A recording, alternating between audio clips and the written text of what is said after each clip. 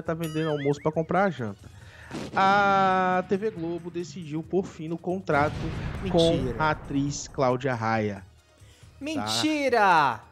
Não acredito. Gente, 40 anos. A Cláudia Raia então vai passar a assinar ali com a Rede Globo apenas por obra, que é uma parte da política ali de reestruturação da emissora. Diga-se de passagem, a gente falou da Eliana, mas a Eliana foi um um caso muito à parte, porque ela foi contratada pela emissora, né? Não é uma coisa é por, por obra. né? Não é temporada, ela realmente está contratadinha ali, pelo menos nos próximos dois anos aí pela Rede Globo de televisão.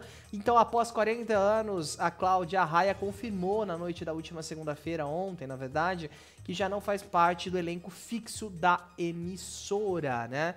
É, ela foi um dos nomes ali, né, dispensados. Recentemente tivemos outros, a gente até trouxe aqui no nosso papo, né, o Antônio Fagundes, o Miguel Falabella e a Cláudia, ela já tinha adiantado, né, na entrevista ali ao Roda Viva em maio desse ano, que sairia da Rede Globo. Na ocasião ela falou: "Quantas histórias podem ser vividas em 40 anos?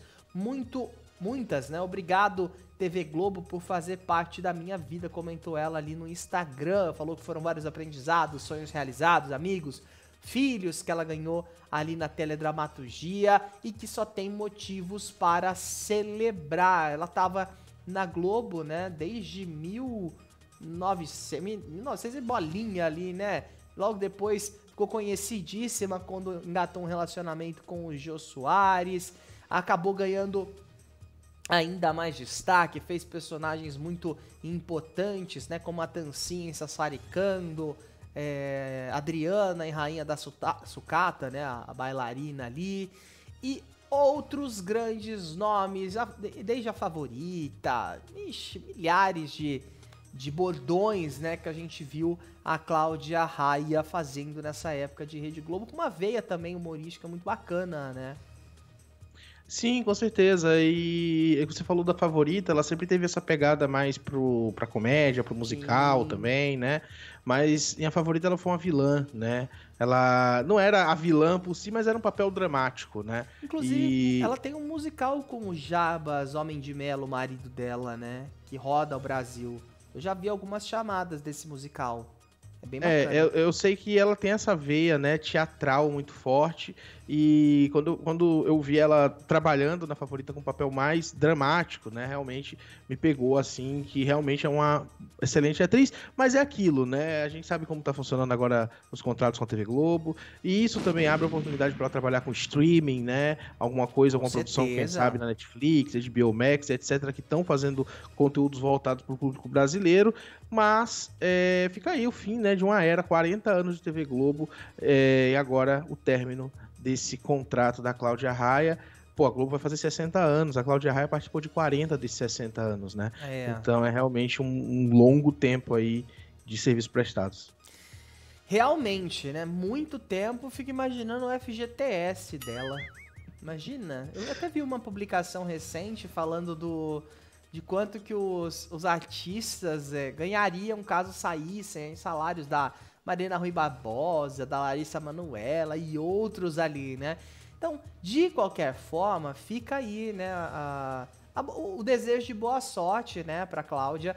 Mas isso é legal em, em partes ali, né, porque permite que os artistas eles façam outros trabalhos, né? A gente sabe que muitos são sondados pela Record, a maioria não topa ir para Record porque sabe que dificilmente vão voltar com né, projetos a curto prazo para Rede Globo, mas abre um, um precedente para que façam streaming, como a gente viu ali o remake de Dona Beija do HBO Max, que gerou uma baita de uma polêmica na época, né?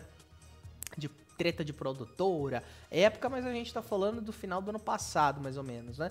Inclusive terminaram de gravar o remake, que é uma produção que ficou muito conhecida na época é, pelos grandes artistas, né? Que resgata um pouco disso no streaming, diferente do que a gente vê hoje nas novelas, né?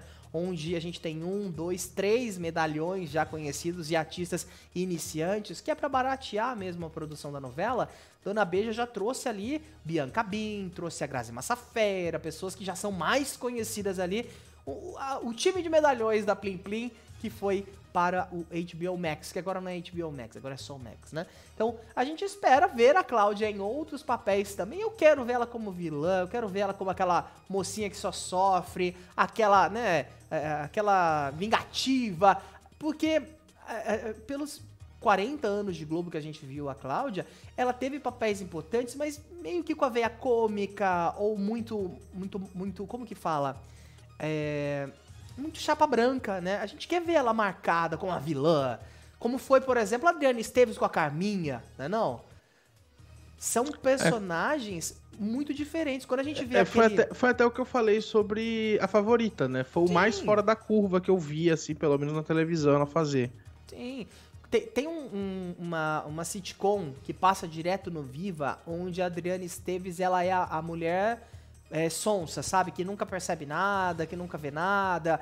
Aí a gente corta pra série do Globoplay, os outros, onde ela é uma mãe que faz de tudo para defender a, a, as crias, e aí a gente. Então, assim, é isso que eu quero ver, porque a Cláudia tem esse potencial e poderia ter sido chamada também para séries do Globoplay. Eu acho que a Cláudia tem muito potencial, na verdade, de sobra, para fazer aquela vilã.